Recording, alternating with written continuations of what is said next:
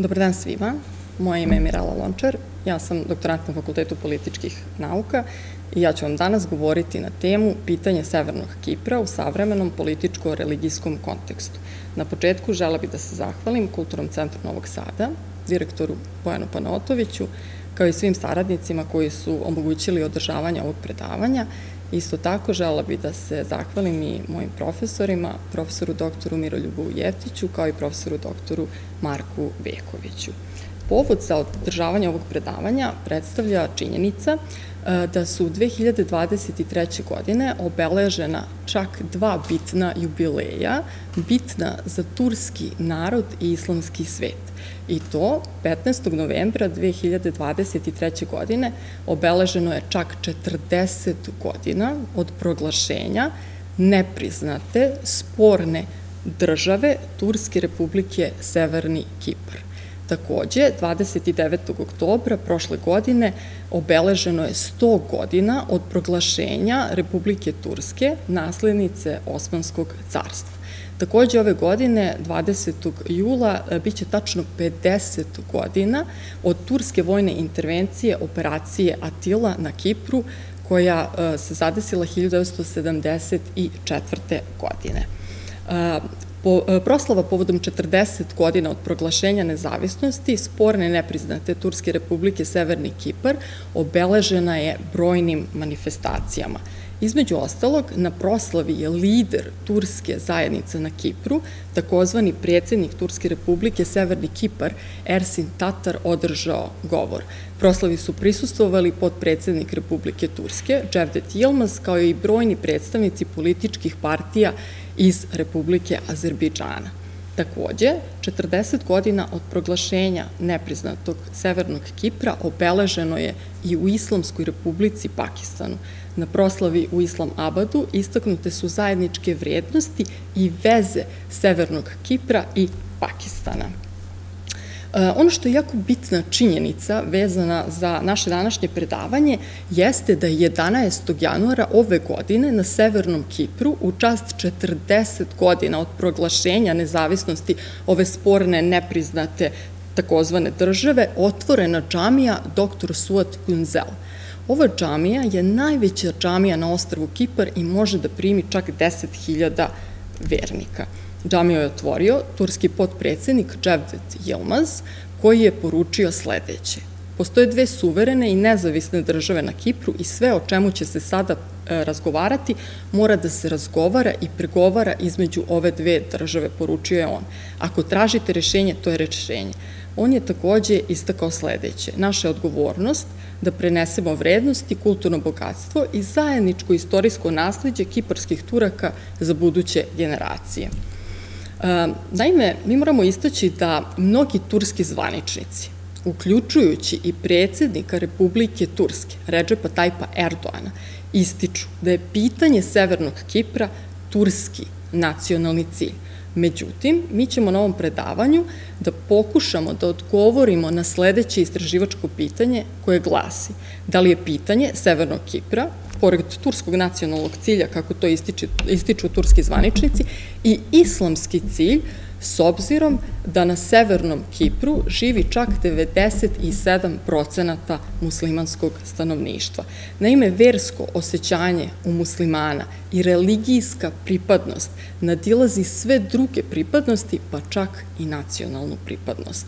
E, muslimani su pre svega braća po veri. Ukoliko postavimo pitanje rešavanja Severnog Kipra, da li je to nacionalni ili islamski e, cilj, takođe možemo da postavimo pitanje rešavanja e, Palestine, da li je to nacionalni ili pak islamski cilj. Ne zaboravimo da je upravo organizacija islamske saradnje, koja predstavlja najznačajniju međunarodnu organizaciju muslimanskog sveta, upravo formirana zbog rešavanja pitanja Palestine.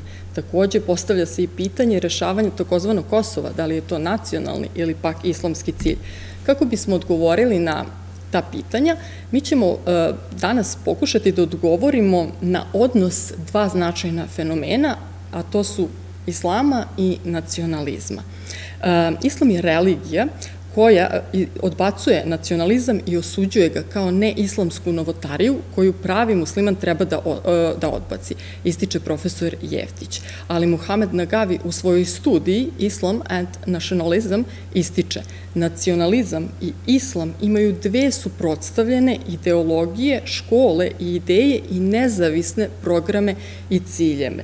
Takođe, Abdulrahman al-Bazaz, bivši premijer Iraka, u svojoj knjizi Islam i arapski narod je naglasio kada islamska ideologija napreduje, nacionalizam je razoren, a kada nacionalizam raste, islam je uništen. E, kao što smo malo pre rekli, najznačajnija islamska međunarodna organizacija, organizacija islamske saradnje u svojoj povelji ide korak dalje i govori o muslimanima čitavog sveta kao jednoj naciji u modernom smislu te reči. Koliko vidimo, ovde imamo poistovećivanje jedne verske grupe kao zasebne nacije. Pored odnosa ova dva bitna fenomena, potrebno je i da prikažemo koncept islamske ume, kako bismo bolje razumeli današnje e, predavanje i e, e, pitanje. Muslimani širom sveta veruju da su ujedinjeni vezom vere u zajednicu svih muslimana umu koja nadilazi nacionalne, plemenske, manjinske i druge pripadnosti. I to, teme, I to verovanje temelji se na Kuranu. Temeljna propoznatljivost muslimana jeste to da je upravo musliman i ta činjenica ima prednost nad pripadnošću određenom plemenu, naciji, skupini ili rodu, ističe Esposito. Islam predstavlja aktivno i miroljubivo podčinjavanje Božije volji i težnju kao ostvarenju Božijeg suvereniteta na zemlji, ističe profesor Jevtić. Naime, suverenitet se u islamu označava pojmom hakemija, dok je suveren u islamu hakem, uh, to je Bog ili Allah. Glavna ideja islama se zasniva na otkrovenju i šerijatu, gde se nalaže da vernici imaju obavezu da žive u jedinstvenoj državi.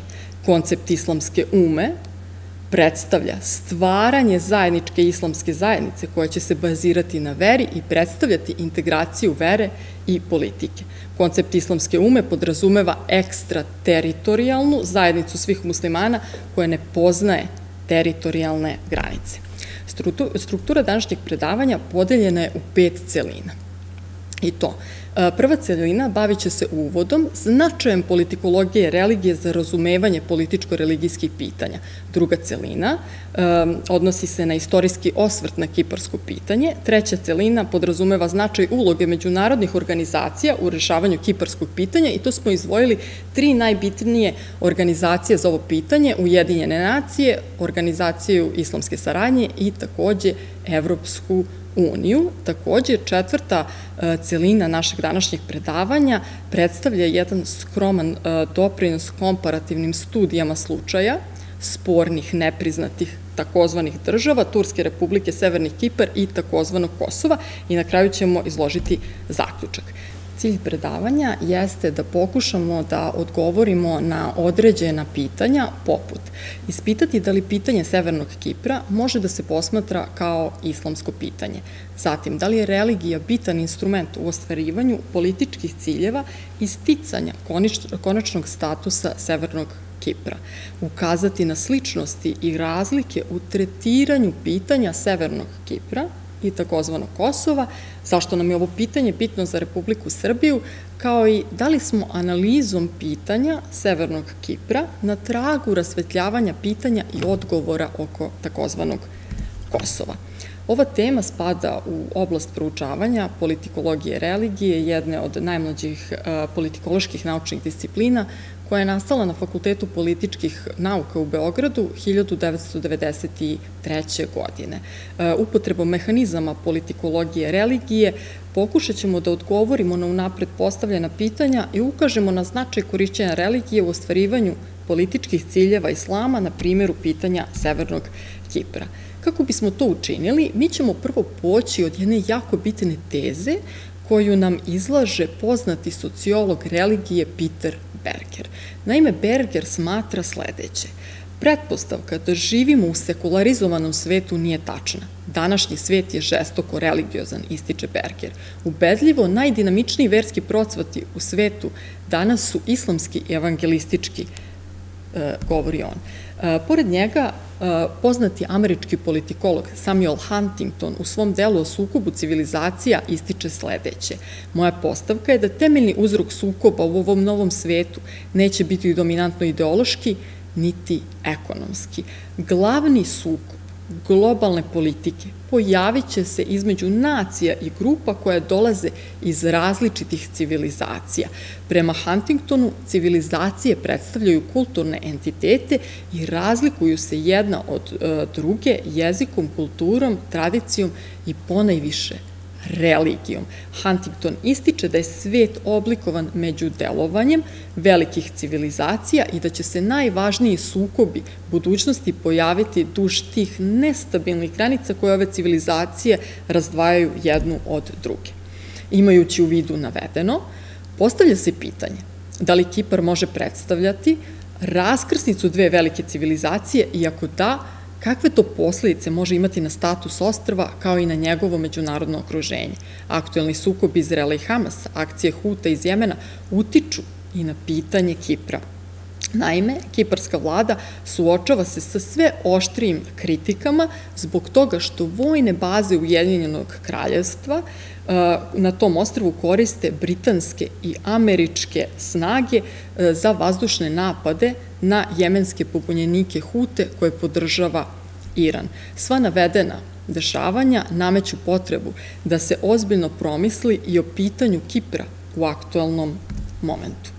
Kipar predstavlja jedno od najvećih ostrva u Sredozemnom moru i ima unikatnu e, i značajnu geostratešku poziciju. Predstavlja kulturnu i istorijsku raskrsnicu između Evrope, Azije i Afrike. Poznat je po velikom mineralnom bogatstvu, energetskim resursima, bakru, solarnoj energiji, prirodnom gasu, e, vrhunskim vinima i prirodnim lepotama. Kipar prema grčkoj mitologiji predstavlja i legendarni dom Afrodite, grčke boginje ljubavi i lepote. Kada govorimo o ostrvu Kipar, možemo reći da ostrvo Kipar broji 1,3 miliona stanovnika, dok zvanično međunarodno priznata Republika Kipar pod svojom kontrolom ima populaciju od 918.000 stanovnika, dok na teritoriji nepriznatog severnog Kipra, koja nije e, pod kontrolom e, međunarodno priznate Republike Kipar, živi oko 391.000 stanovnika. U Republici e, Kipar živi većinsko grčko stanovništvo, pravoslavne veroispovesti, e, čak 89,1% e, pravoslavaca. Pored pravoslavaca na teritoriji međunarodno priznate Republike Kipar živi rimokatolici, protestanti, muslimani i drugi, dok na teritoriji nepriznatog severnog Kipra žive većinski Turci, sunitski muslimani, znači većinski 97% E, muslimana. E, pored većinskog muslimanskog stanovništva prisutni su i drugi pravoslavci, jevreji, jehovni svedoci i tako dalje. Tokom istorije, velike sile nastojale su da zauzmu ovo bitno ostravo. Kiprom su vladali Asirci, Egipćani, Persijanci, Rimljani, Luzinjani, Mlečani, Osmanlije i konačno Britanci. Osmansko carstvo vladalo je ostrvom u periodu od 1571. do 1878. godine. 1878. godine Britanci su preuzeli administrativnu kontrolu nad Kiprom, iako je ostrvo formalno ostalo pod osmanskim suverenitetom. Britanija je 1914. godine anektirala Kipar e, i 1925. godine Kipar je formalno proglašen britanskom kolonijom. Sada dolazimo do druge celine našeg predavanja koja predstavlja istorijski osvrt na kiparsko pitanje i tu su nam jako bitna dva koncepta. Prvi koncept jeste koncept enozisa, a drugi koncept jeste koncept taksima. Naime, tokom oba svetska rata, Grci sa Kipra pomagali su Britaniji, nadajući se da će im Britanija pomnuditi e, Kipar kako bi se ujedinili sa Grčkom. Grčka zajednica sa Kipra nastojala je da ostvari ujedinjenje Kipra sa Grčkom, poznatije kao enozis. E, međutim, ovaj zahtev grčke e, strane bio u suprotnosti sa interesima turske zajednice na Kipru, što je uslovilo glavnu podelu u politici ostrva. Grci sa Kipra počeli su borbu za, to je počeli su kampanju za enozis i formirali nacionalnu organizaciju za kiparsku borbu koja se zvala EOK. EOKA se obračunavala sa protivnicima ujedinjenja sa e, Grčkom, među kojima su poneviše bili Britanci, ali i pojedini e, Turci i Grci. E, na čelu kampanje za Enozis bio je arhijepiskop Makarios, predstavnik Grka sa Kipra, duhovni i politički vođa koji se nalazio u vrhu Grčke pravoslavne crkve na Kipru. Kada su EOKA operacije bile smanjene, turska kiparska manjina na ostrvu predviđena Fazilom Kučukom tražila je retrocesiju Turskoj ili podelu ostrva poznatiju kao taksi. Na Kipru je postojala i turska, e, turska kiparska naoružana organizacija TMT koja se borila za ostvarivanje podele ostrva Taksim i njihov slogan bio je Taksim ili smrt. Ova organizacija koristila je i retoriku svetog rata kako bi stekla podršku većine Turaka, to jest muslimana sa Kipra. Situacija na ostrvu bila je teška za obe zajednice, stoga su Grčka i Turska vlada odlučile da naprave značajan korak ka smirivanju situacije na, ostrvu, na ostrvu i uspostave dogovor oko statusa Kipra. Posledično, 16. avgusta 1960. godine Kipar je proglasio nezavisnost od Ujedinjenog kraljevstva nakon potpisivanja sporazuma u e, Cirihu i Londonu između garantnih sila Velike Britanije, Grčke i Turske koje su imale pravo da intervenišu. U ove pregovore bili su uključeni predstavnici e, zajednica sa e, Kipra, arhijepiskop Makarios III, predstavnik Grka sa Kipra i dr. Fazil Kučuk, predstavnik Turaka sa Kipra. Sile potpisnice sporazuma usaglasile su se da neće dozvoliti nikakvu promociju Unije Republike Kipar sa nekom drugom državom, poput Enoziza, niti podelu ostrva poznatu kao Taksim. Ustavom Republike e, Kipar, koji je e, donet 1960. godine takođe, predviđena je funkcionalna federacija e, između ove dve zajednice, znači Grčkog Kipra i Turskog Kipra, koje dele vlast, dok su, dok su dve vojne baze Ujedinog kraljevstva zadržale svoj suverenitet na određenom delu ostrva. Prvi predsednik Republike Kipar bio je arhijepiskop Makarios, predstavnik Grka sa Kipra, dok je doktor Fazil Kučuk, predsednik Turaka sa Kipra, bio podpredsednik države. Primer političkog delovanja arhijepiskopa Makariosa nas takođe upućuje na značaj izučavanja politikologije religije. Jedna od bitnijih funkcija koju religija ima jeste i politička funkcija, dok funkcija verskih vođa može takođe biti politička, što vidimo upravo ovde na ovom primeru, na primeru arhijepiskopa Makariosa, koji je bio politički i duhovni e, vođa, koji je postao prvi predsednik Republike Kipar i bio dominantna politička figura na Kipru sve do njegove svrti 1977. godine. Međutim, e, tri godine nakon e, e, proglašenja nezavisnosti Kipra od Ujedinjenog kraljevstva, nerazumevanje grčke i turske zajednice na Kipru vodilo je tragičnim događajima 1963. godine. Makarios i grčka zajednica predložili su 13 amandmana na ustav, što je naišlo na odbijanje turskog naroda na Kipru i nastavak borbe dve kiparske zajednice. Rezultat toga bila je podela Kipra na dve zone, kao i podela glavnog grada Nikozije na liniju prekida vatre, poznatu kao zelenu liniju pod kontrolom britanskih trupa. Situacija na ostrovu zahtevala i pažnju Saveta bezbednosti Ujedinjenih nacija, stoga 1964. godine usvojena je i rezolucija broj 186 koja je pozvala da se formira mirovna misija Ujedinjenih nacija na Kipru. Period od 1963. godine do 1974. godine bio je takođe veoma težak za obe zajednice. Nakon državnog udara kojeg je naredila grčka vojna hunta na Kipru 1974. godine izbacivanja Makariosa, Turska je u cilju zaštite turske populacije na Kipru zatražila zajedničku intervenciju sa Ujedinjenim kraljevstvom. Međutim, kako je Ujedinjeno kraljevstvo odbilo taj predlog, Turska je otpočela vojnu intervenciju, operaciju Atila 20. jula 1974. godine. Nakon ove intervencije, Grci sa Kipra e, bili su preseljeni na jug ostrva, dok su, e, e, dok su Turci prešli na sever ostrva i posledično nakon toga 1983. godine turski deo Kipra proglasio je, jednostrano je proglasio nezavisnost Turske republike Severni Kipar, koja je danas priznata samo od Republike Turske. Možemo reći da događaji od 1974 godine i dalje dominiraju politikom na ostrvu kao i grčko-turskim odnosima.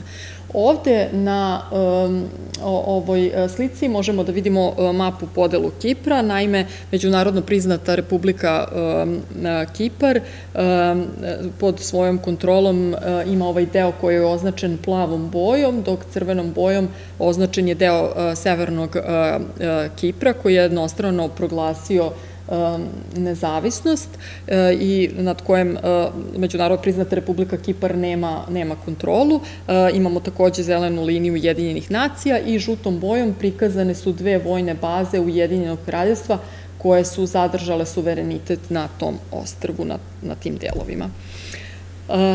Kao što smo već rekli, Kipar je proglasio nezavisnost Ujedinjenog kraljevstva 1960. godine, stoga donet je i Ustav iste godine. Ustavom je predviđeno da Republiku Kipar čine dve zajednice, Grčka i Turska zajednica. Grčku zajednicu čine svi državljani Republike koji su grčkog porekla, čiji je maternji jezik grčki, koji dele grčke kulturne vrednosti i tradicije ili koji su pripadnici Grčke pravoslavne crkve na Kipru, dok tursku zajednicu čine svi državljani Republike koji su turskog porekla, čiji je maternji jezik turski, koji dele turske kulturne vrednosti i tradicije ili koji su muslimani. Članom 18 ovog ustava garantovana je sloboda religije. Grčkoj pravoslavnoj crkvi Kipra pruža se isključivo pravo da reguliše i upravlja svojim unutrašnjim poslovima i priznaje vakuf islamska institucija. Pored Grčke pravoslavne crkve Kipra i Islama, Ustav Kipra prepoznaje još tri verske grupe, to su katolici maroniti, jermenski pravoslavci i rimokatolici. Kao što smo već rekli, Turska republika Severni Kipar nepriznata, donela i svoj takozvani ustav 1985. godine. Članom 1 ovog takozvanog ustava ova nepriznata takozvana država određena je kao sekularna država. Šta to znači? Imamo razdvajanje religije od države i smještanje religije u privatnu smeru. Međutim, praksa zapravo izgleda drugačije. E, članom 131 ovog takozvanog ustava uređuje se status vakuf organizacije kao i kancelarija za verska pitanja. E, oni su izuzeti od svakog oblika oporezivanja. Ova takozvana država pomaže u vršenju verskih e, službi i podmirivanju troškova tih službi. Nijedna druga verska organizacija na Severnom Kipru nije oslobođena poreza, niti prima subvencije od vlasti kiparskih Turaka, za razliku od ovaj, da kažem, islama.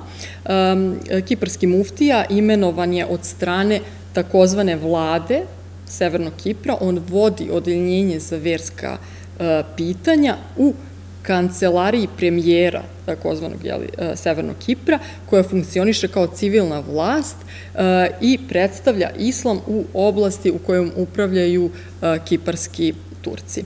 Takođe, potrebno je istaći da u svim školama i državnim i privatnim postoji obavezna verska E, nastava od četvrtog do osmog razreda. E, ovi časovi se prvenstveno fokusiraju na izučavanje sunitskog islama, ali obuhvataju i e, časove o komparativnoj religiji. Učenici ispod šestog razreda koji nisu muslimani moraju da slušaju vesku nastavu, iako se ocenjuju bez ispita. Učenici mogu i da odustanu od obaveznih kurseva veronauke veronauke od 6. do 8. razreda, dok na nivou srednje škole ovi časovi veronauke su fakultativni. Turska vlada pruža značajnu podršku sunitskim islamskim aktivnostima u oblasti kojom upravljaju kiparski Turci i prema ekonomskom protokolu Turska, Severni Kipar iz 22. godine, verske službe će biti uključene u glavnu dužnost i oblast kontrole takozvane države i odeljenje za verska pitanja će biti reorganizovano u okviru pravnog lica jeli, ove takozvane države. Što vidimo da, iako je članom 1 ovog takozvanog ustava nepriznate, nepriznatog Severnog Kipra, ova takozvana država određena kao sekularna, vidimo da to ipak nije. Kada govorimo o drugim obeležima države, možemo reći da zastava Republike Kipar koristi mapu kao element dizajna. Mapa Kipra jeste obojena bojom bakra, što i ne čudi s obzirom da je Kipar ostravo bogato bakrom. Takođe sadrži dve maslinove grančice koje e, simbolizuju nadu u pomirenje dve kiparske zajednice Grčke i Turske. E, možemo reći da e, zastava Republike Kipar jeste jedna od dve zastave na svetu koje koriste mapu kao element dizajna. Druga zastava jeste zastava nepriznatog takozvanog Kosova. E, takozvano Kosovo takođe koristi mapu kao element dizajna. E, kada govorimo o nepriznatom severnom Kipru, njihova takozvana zastava sastoji se od crvenog polumeseca, crvene zvezde, baner je urađen po uzoru na tursku zastavu. A kada govorimo o himnama, možemo reći da Republika Kipar je usvojila grčku himnu kao svoju, dok zajednica kiparskih Turaka na Kipru koristi himnu Turske.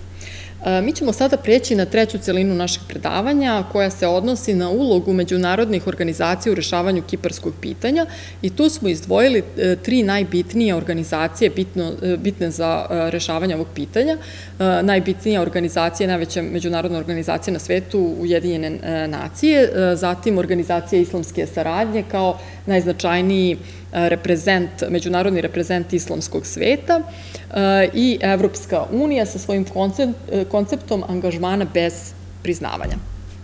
Kada govorimo o značaju uloge organizacije Ujedinjenih nacija, moramo reći da Ujedinjene nacije nisu priznale nezavisnost Turske republike Severni Kipar i čak su deo Kipra pod turskom kontrolom proglasile nelegalnim i tražile povlačenje priznanja. Angažman Ujedinjenih nacija otpočeo je na Kipru 1964. godine kada je uspostavljena mirovna misija Ujedinjenih nacija. Tada su Ujedinjene nacije formirale tampon zonu između dve zajednice. Još od 70. Eh, godina 20. Veka Ujedinjene nacije su eh, sponzorisale i promovisale mnoge direktne i indirektne pregovore između dve strane kako bi se našlo rešenje i kako bi se formirala federalna država Kipar koja bi bila sačinjena od Grčke i Turske zajednice. Neki od mehanizama Ujedinjenih nacija za rešavanje kiparskog pitanja jesu e, inicijativa generalnog e, sekretara Ujedinjenih nacija Butrosa Galija, set ideja iz 1992. godine, zatim mere za izgradnju poverenja, zatim najpoznatiji Ananov plan iz 2004. godine, nakon toga pregovori u Krans Montane u Švajcarskoj 2017. godine i poslednji mehanizam jeste mehanizam neformalnih sastanaka, Ujedinjene nacije plus 5 u Ženevi 2021. godine. Kao što smo već rekli, najznačajniji plan da Ujedinjene nacije reše situaciju na Kipru bio je sveobuhvatni plan Ujedinjenih nacija, Ananov plan, plan generalnog sekretara Ujedinjenih nacija Kofija Anana, koji je nakon referenduma na Kipru, koji je održan 2004. godine, dobio podršku turskog dela Kipra, međutim, odbijen je od grčke strane Kipra. Cilj plana bio je da se formira Ujedinjena Kiparska republika koja bi se pridružila Evropskoj uniji kao federalna država. Međutim, nakon odbijanja grčke strane, plan je, nažalost, propao. Međutim, i pored poraza Ananovog plana, Evropska unija je ipak odlučila da 1. maja 2004. godine primi Republiku Kipar u svoju organizaciju na neki način kao podeljenu zemlju s obzirom da međunarodno priznata Republika Kipar nema kontrolu nad svojim severnim delom. Jako je bitno da istaknemo i značaj uloge organizacije islamske saradnje ovaj, koja pridaje zaista neupitnu podršku Severnom Kipru kao i muslimanima sa Severnog Kipra. Na ovoj slici možemo videti dokaz tome. Naime, na slici je prikazan sastanak generalnog sekretara Organizacije islamske saradnje Husajna Brahima Tahe i lidera Turaka sa Kipra Ersina Tatara na marginama 78. sednice Generalne skupštine Ujedinjih nacija u Njujorku u septembru 2023. godine. Naime, organizacija koja je prevashodni cilj da štiti muslimanske interese svuda na svetu jeste upravo organizacija islamske saradnje. E, ova organizacija predstavlja najveću e, svetsku međuvladinu islamsku organizaciju čije su članice primarno povezane istom religijom islamom. Ova organizacija broji čak 57 država članica i tvrdi da predstavlja sve muslimane na svetu, njih 1,8 milijardi. Organizacija islamske saradnje predstavlja drugu najveću međuvladinu e, organizaciju na svetu, odmah posle Ujedinjenih nacija, i možemo istaći da iako organizacija islamske saradnje e, je politička institucija koju vode politički lideri e, zemalja članica, organizacija islamske saradnje tvrdi da govori u ime islamske religije i e, u napred pomenute muslimanske ume, jeli, spominjali smo koncept muslimanske, to jest islamske ume. Organizacija islamske saradnje ističe da predstavlja kolektivni glas svih muslimana, brani njihove interese širom sveta i nastoji da formira tu zajednicu svih muslimana, poznatiju kao umu. Neki od napora organizacije islamske saradnje u cilju zaštite muslimana sa Kipra su sledeći.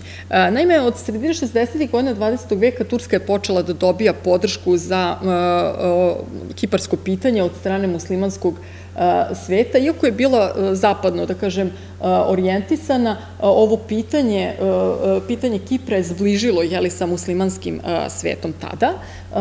Na šestom islamskom kongresu Organizacije islamske saradnje usvojena odluka da se osade nasilne akcije Grka sa Kipra.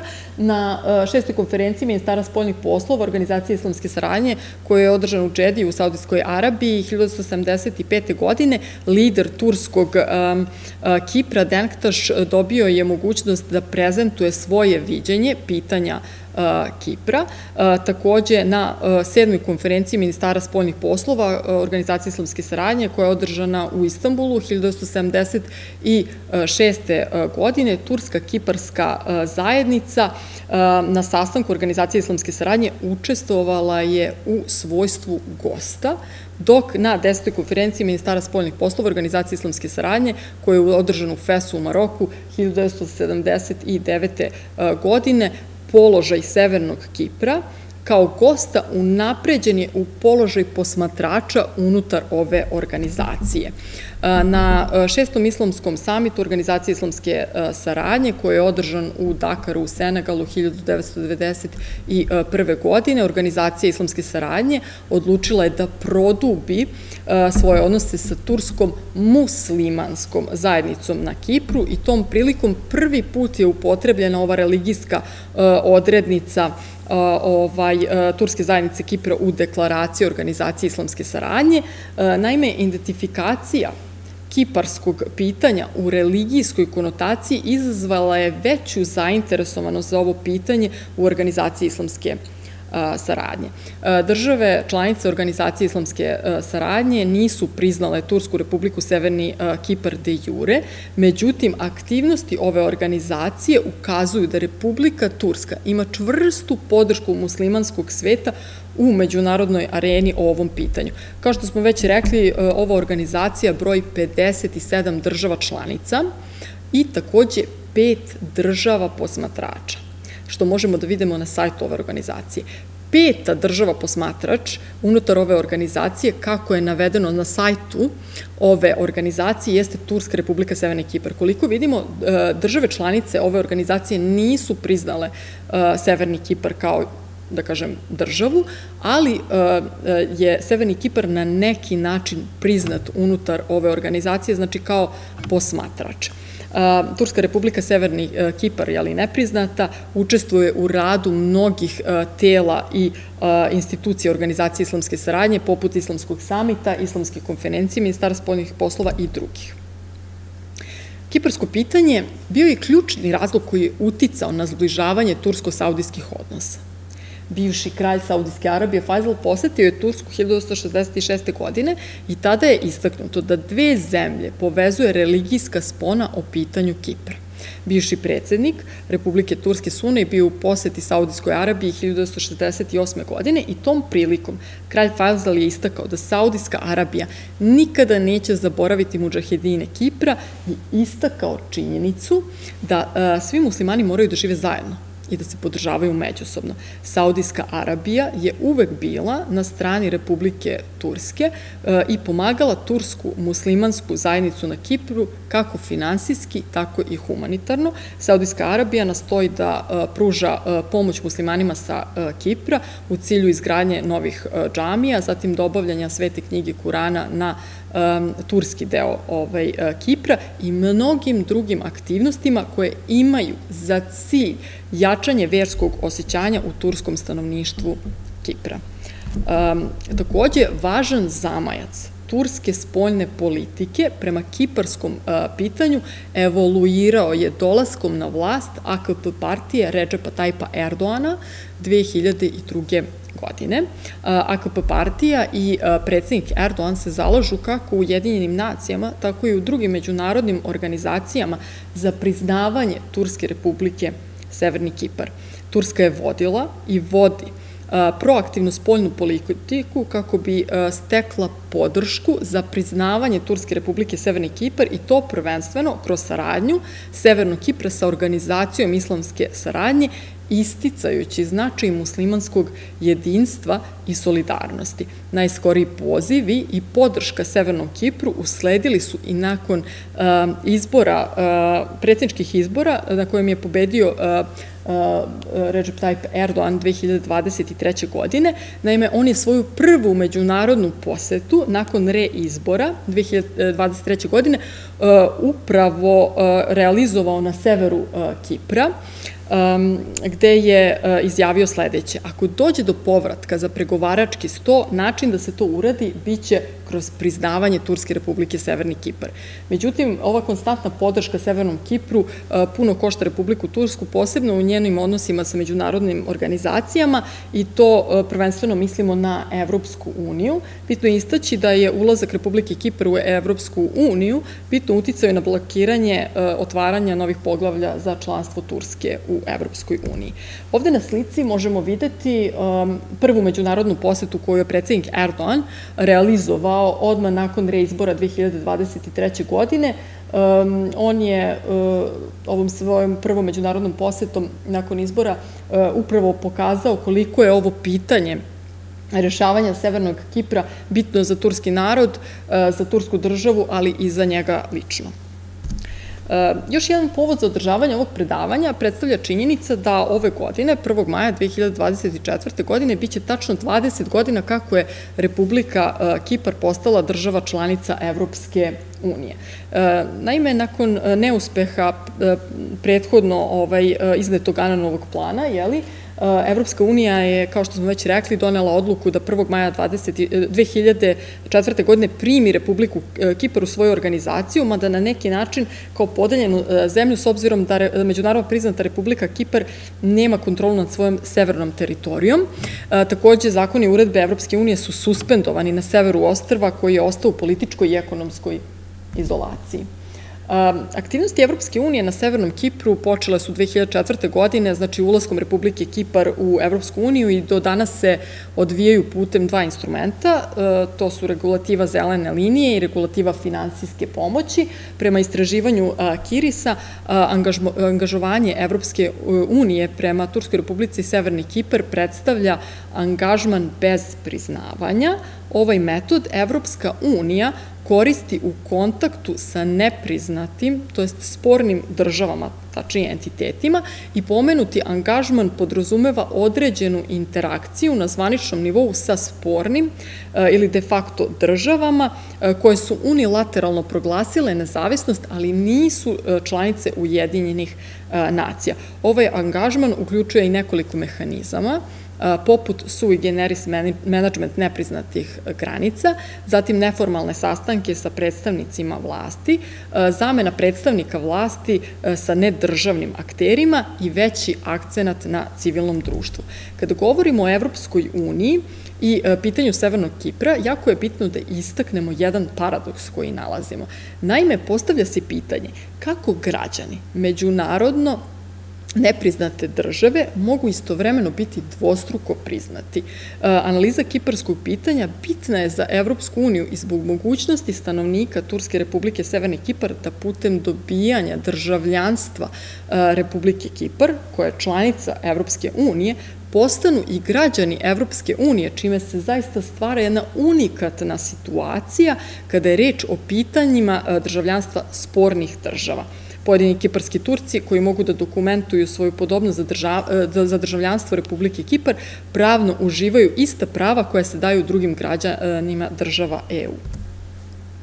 Četvrta, e, četvrta celina našeg predavanja e, predstavlja jednu skromnu komparativnu studiju slučaja spornih nepriznatih takozvanih država, Turske republike, Severni Kipar i takozvano Kosova. Naime, bitno je istaći da Evropska unija daje definitivnu prednost suverenitetu Republike Kipar nad Severnim Kiprom, što nije slučaj kad se radi o Republici Srbiji i projektima izgranje takozvane države Kosovo. Dok je Severni Kipar većinski nepriznat od međunarodne zajednice, druge nepriznate sporne jeli, takozvane e, države, poput takozvanog Kosova, imaju veći broj priznanja od strane država članica Ujedinjenih nacija i Evropske unije i stoga se Evropska unija u slučaju takozvanog Kosova angažuje direktnije i čak otvorenije. E, takozvano Kosovo je zapravo unikatni e, slučaj uzimajući u obzir druge nepriznate države i to prvenstveno zbog široke međunarodne podrške Sjedinjenih američkih američkih država, većine zemalja Evropske unije i drugih velikih sila i upravo iz tog razloga Sumantra Bose poznati jeli, e, autor, nalazi da je takozvano Kosovo, da se takozvano Kosovo može smatrati spornom državom, ali međunarodnog dizajna upravo zbog široke međunarodne e, podrške koju, nažalost, uživa. Ono što ipak govori o određenom, a da minimalnom poštovanju međunarodnog prava jeste činjenica da takozvano Kosovo nije postiglo zlatni standard međunarodnog priznavanja s obzirom da nije članica Uh, Ujedinjenih nacija. Potrebno je istaći uh, da su statusi Severnog Kipra i takozvanog Kosova različiti, iako se mnogi autori pozivaju na slično situacije, imaju i onih autora koji nalaze e, brojne podudarnosti e, u ovim pitanjima. Naime, u oba slučaja e, nalazimo većinski dve nacije i religije. Na Kipru žive, znači, Grci, većinske pravoslavne veroispovesti i Turci koji su sunitski muslimani, dok na severu Kipra nalazimo većinsko tursko muslimansko stanovništvo, njih 97 procenata. Na Kosovu su takođe bile većinski prisutne dve nacije nacije i e, religije, s tim što danas e, situacija na Kosovo i Metohiji e, znatno promenjena, pošto prema e, podacima CIA World Factbooka 92,9% stanovnika čine Albanci, dok 1,5% čine Srbi, mada mi verujemo da su ovi podaci mnogo veći. Više od 99% stanovništva su muslimani, dok 1,5% su pravoslavni hrišćani.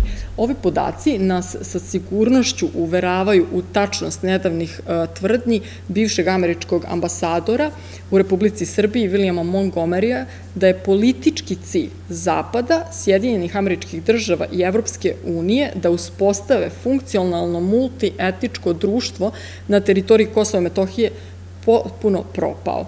Takođe, na obe teritorije je prisutna mirovna misija Ujedinjenih nacija i Evropske unije.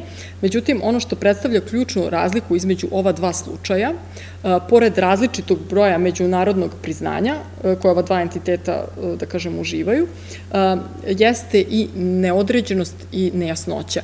Naime, za razliku od turske muslimanske zajednice na Kipru, muslimani sa Kosova i Metohije su od početka imali jasan cilj i plan, a to je nezavisnost i stvaranje većinske muslimanske države u Evropi.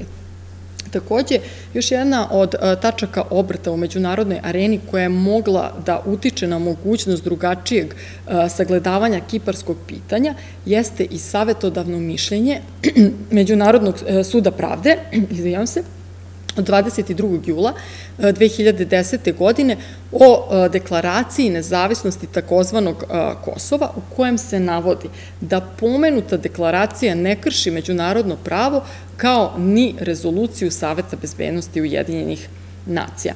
Posledično ovo savetodavno mišljenje je moglo da otvori prostor Severnom Kipru da snažnim diplomatskim lobiranjem dobije priznanje od strane velikih sila i drugih članica Ujedinjenih nacija ovim mišljenjem zapravo otvorena Pandorina kutija. Kosovska priča o nezavisnosti i pravu na samopredeljenje je prema mnogim autorima savršeni primer lekcije o lobiranju, iako je protiv na međunarodnom pravu.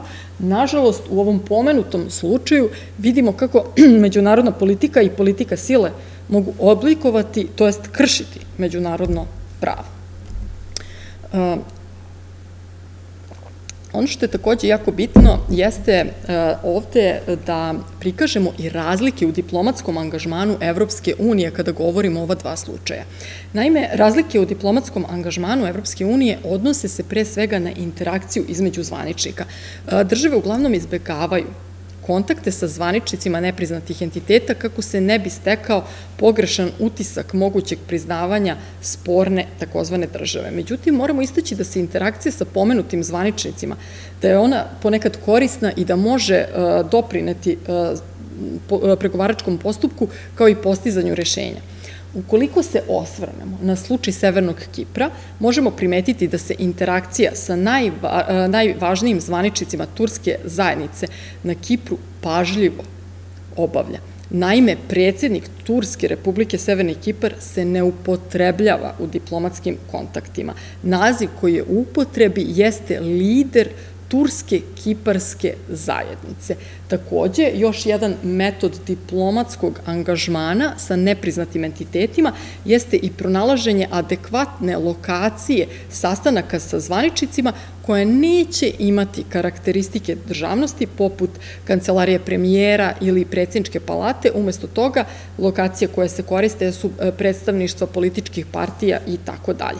Međutim, Ovakav diplomatski e, angažman se ne može potvrditi kad je reč o interakciji sa zvaničicima takozvanog e, Kosova. Čini se da su položaj i zvanja e, zvaničnika takozvanog Kosova kao i lokacija sastanaka sa njima neproblematični, što ne šalje pozitivan signal kada je u pitanju poštovanje suvereniteta i teritorijalnog integriteta jedne međunarodno priznate suverene države Republike Srbije.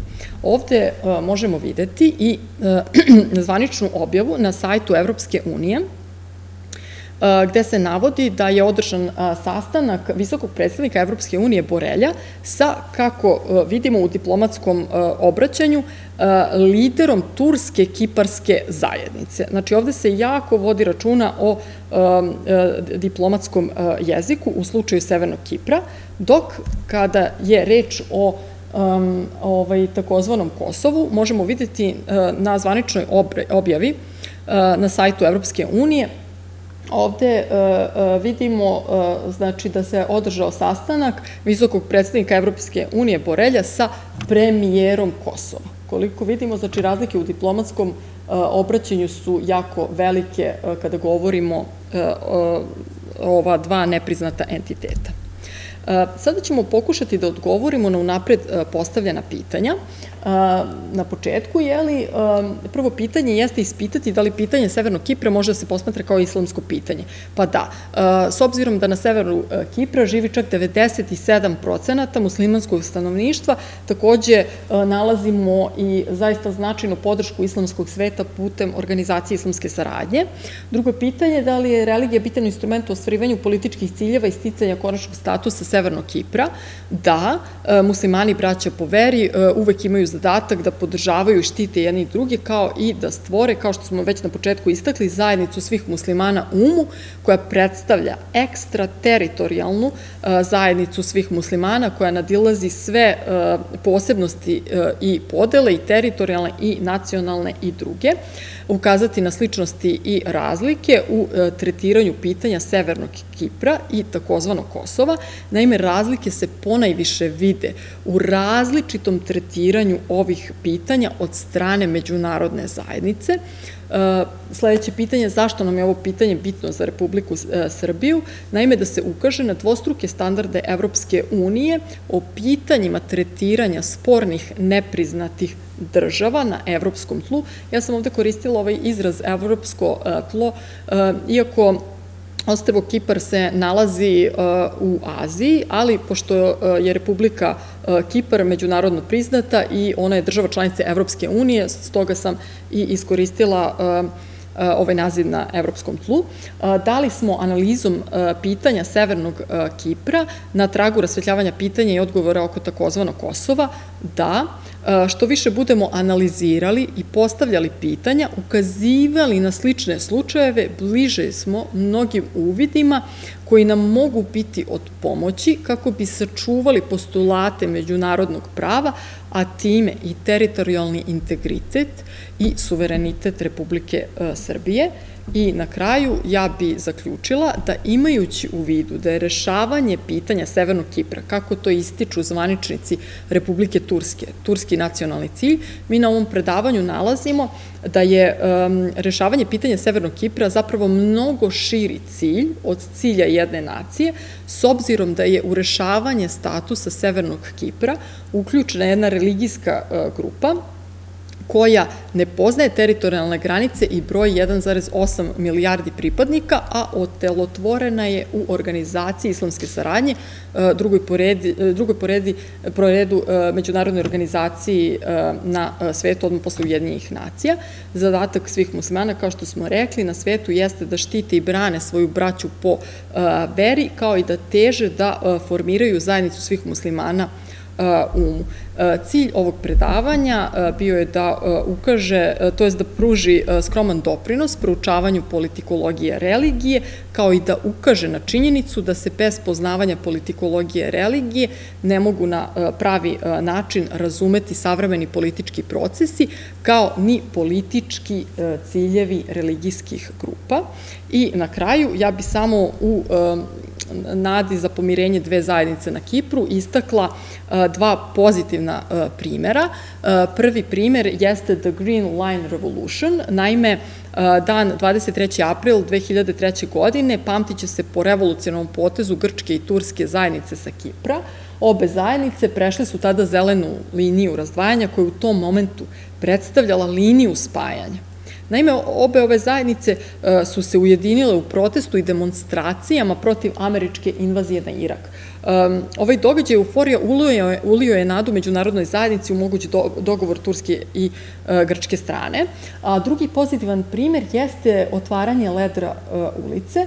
Naime, uprkos globalnoj ekonomskoj krizi koja je zahvatila svet 2008. godine, otvaranje glavne trgovačke ulice i centra ledra u podeljenoj Nikoziji doprineo je kako pozitivnom ekonomskom efektu, tako i obnovljenim kontaktima ljudi sa severa i sa juga Kipra i ovaj događaj nam zapravo pokazuje koliko ekonomija može biti značajan kohezivni faktor u povezivanju podeljenih društava.